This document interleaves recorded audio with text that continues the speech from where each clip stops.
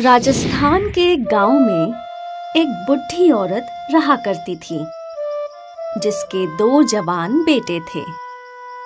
बुढ़ी अम्मा की तबीयत खराब थी, लेकिन वो फिर भी घर में बुनाई करके घर का खर्च चलाया करती। दोनों बेटे काम की तलाश में दूर दूर तक जाते, लेकिन उन्हें कभी कोई काम नहीं मिलता। एक दिन बुढ़ी अम्मा की तबीयत बहुत खराब हो गई और उन्होंने बिस्तर पकड़ लिया।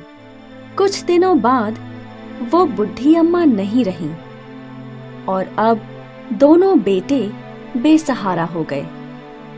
अम्मा की तेरहवीं पर उनकी बहन बच्चों से मिलने आई। दीदी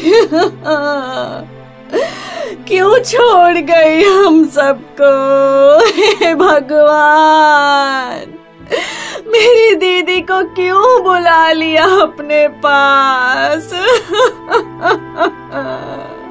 मासी, माँ।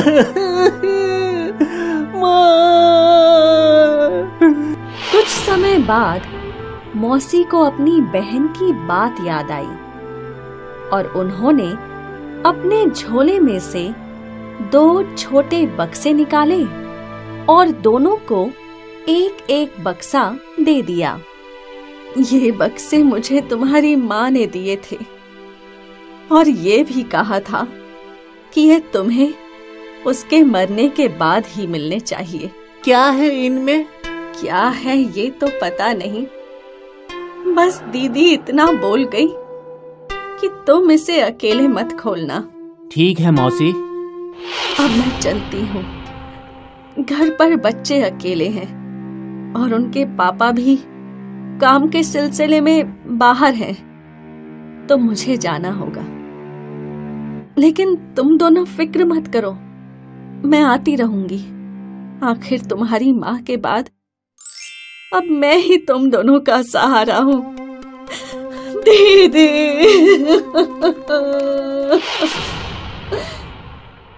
मौसी अपना रोना रोकर वहाँ से चली गई और फिर आकाश और विकास ने अपना अपना डिब्बा खोला।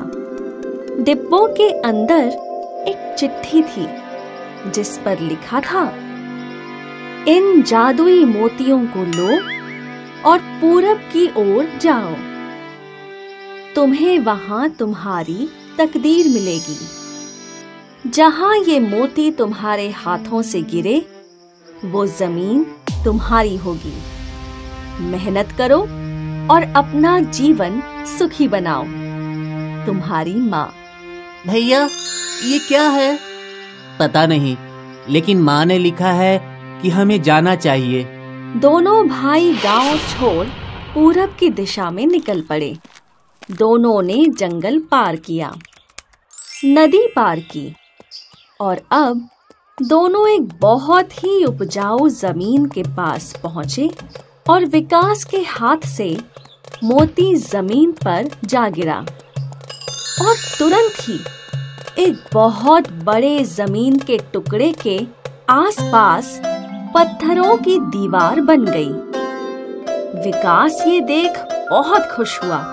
अरे वाह ये ज़मीन मेरी है इतनी उपजाऊ। मेरे तो भाग्य ही खुल गए। बधाई हो भैया आपको बहुत बहुत बधाई हो।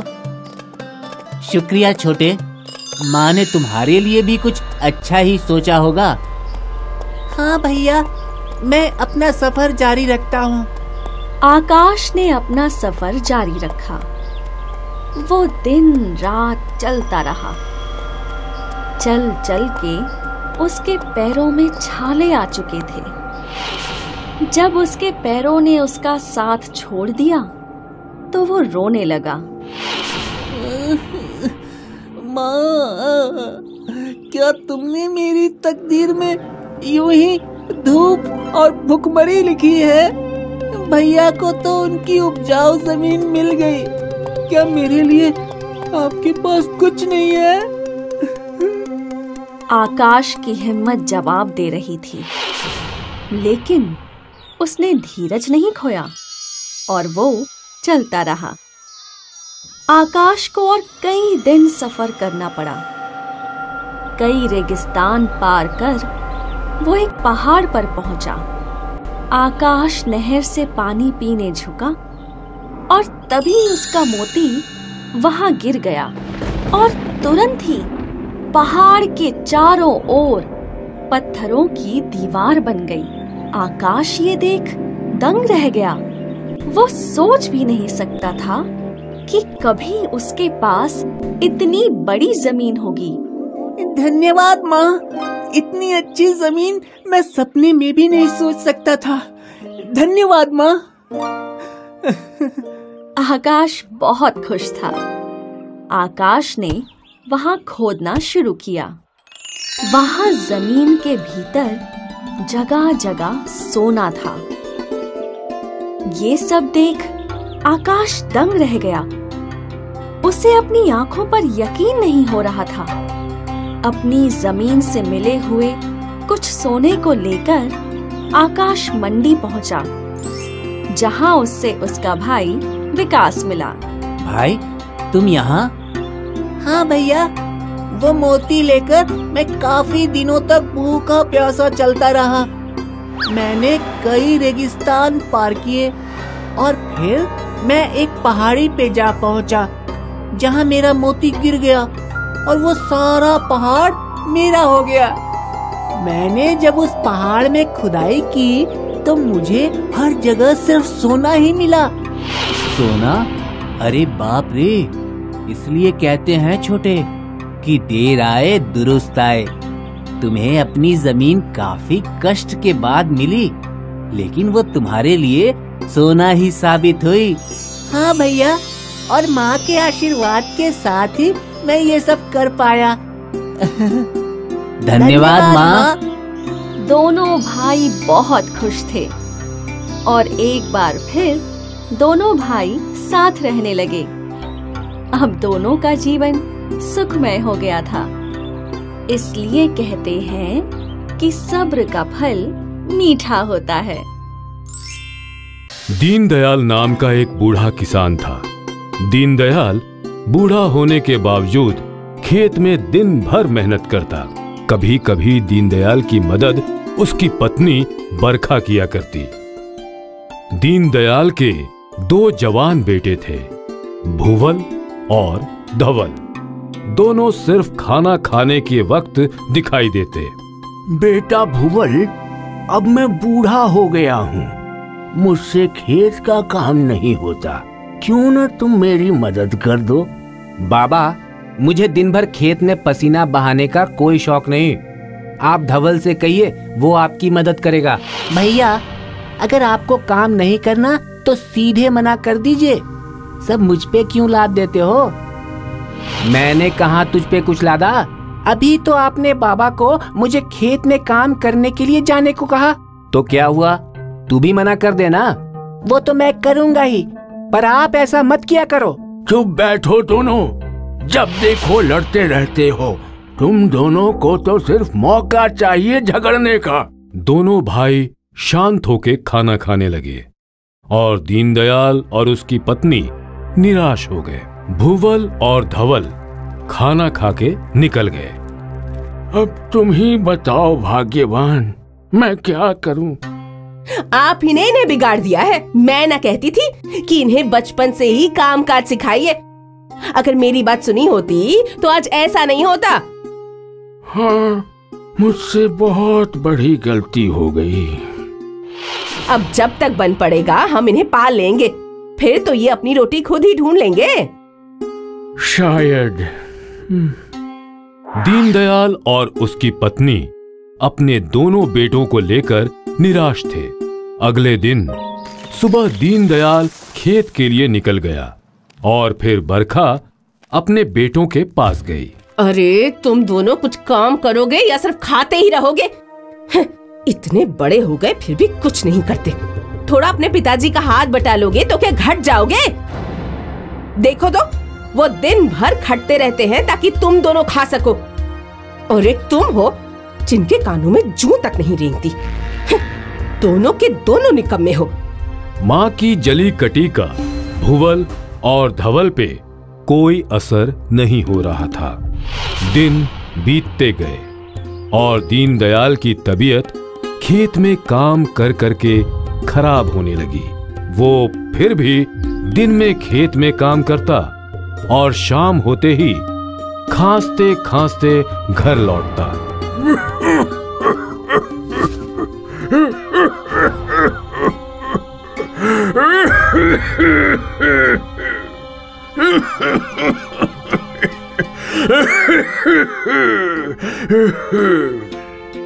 अपनी तबीयत का ख्याल रखा करो।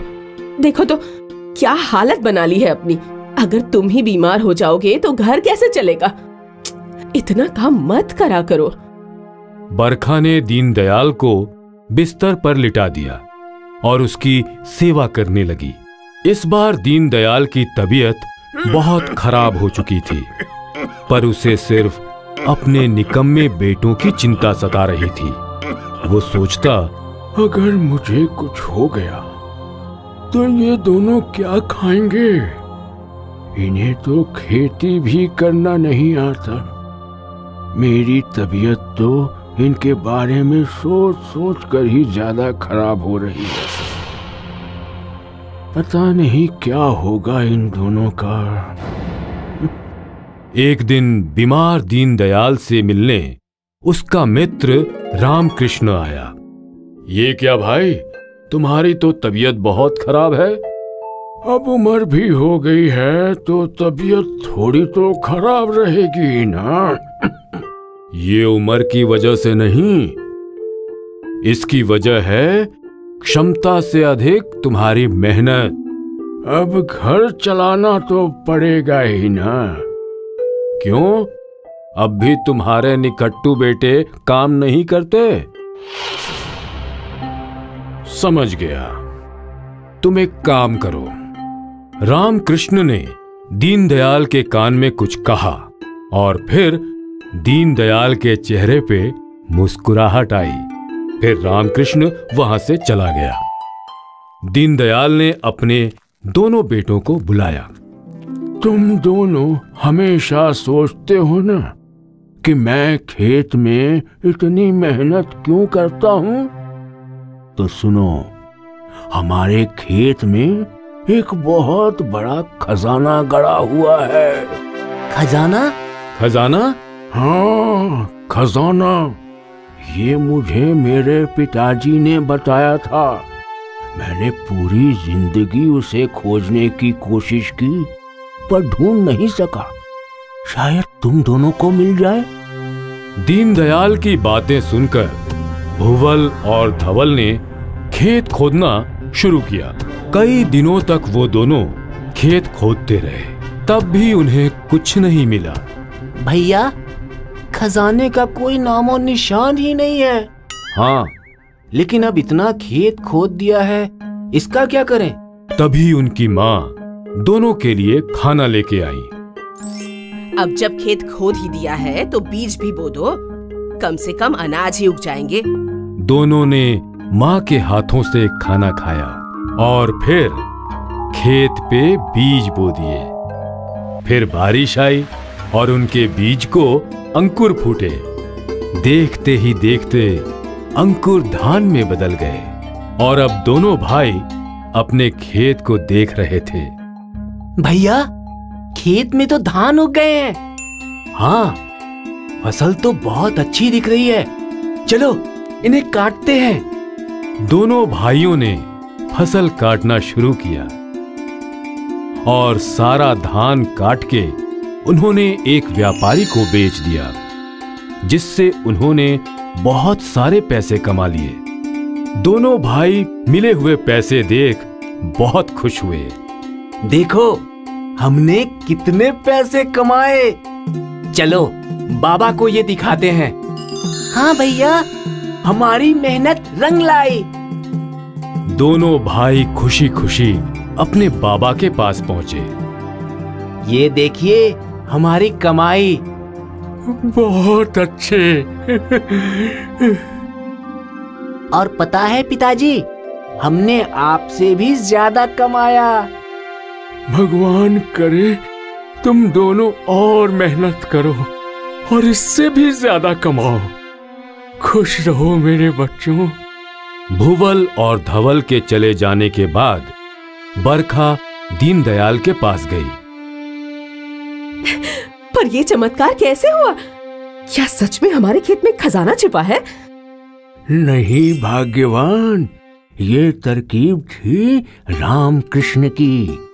उसने कहा था सिर्फ़ धन की लालच ही मेरे निकम्मे बेटों को मेहनत के मार्ग पे ला सकती है। और वो बिल्कुल सही था। हाँ?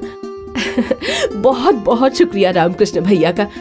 अब उनकी बदौलत हमारा जीवन बदल गया और हमारे बेटे समझदार और मेहनती बन गए। दीनदयाल ने खजाने का लालच देकर अपने निकम्मे बेटों को मेहनत करना सिखाया। और फिर भुवल और धवल मेहनत के मार्ग पे ही चलने लगे। इसीलिए कहते हैं, मेहनत का फल हमेशा मीठा होता है।